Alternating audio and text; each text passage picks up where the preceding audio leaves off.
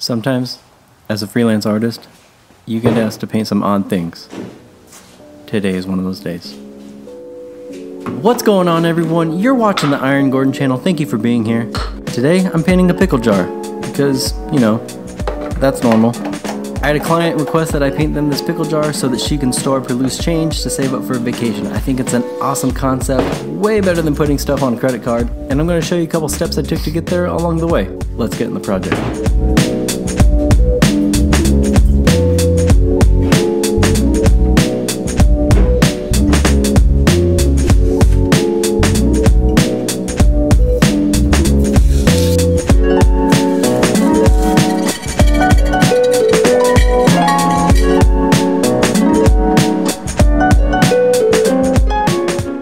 Alright, so these are the sketches we came up with I made a little tiki mug. with an umbrella and a straw and the words vacation jar in a nice script text. Now I'm just going to go ahead and cut these to shape and then tape them to the inside of the jar so that I have a reference to paint from and I don't have to redraw it on the glass itself.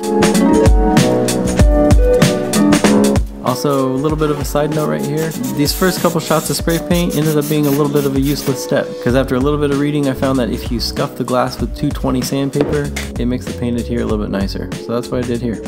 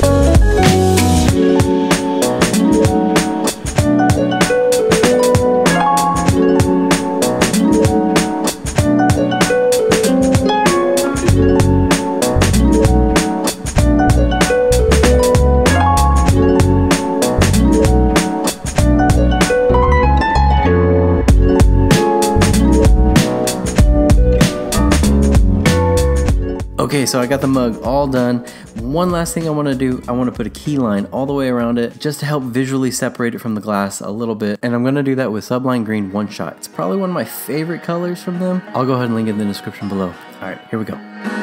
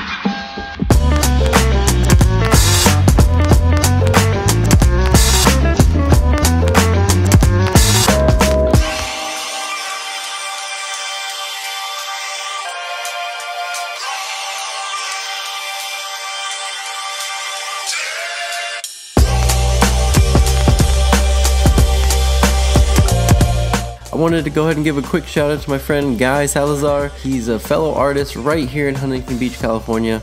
I'll link his Instagram in the description below. To finish this thing off, I painted the lid with a nice orange to red gradient. Also cut a slot on the top so you could actually drop change into it. Don't forget to like, comment, subscribe. Go check out another one of my videos. I think most of them are pretty decent, but that's just my two cents. Thanks for hanging out with me today, and I'll try better next time.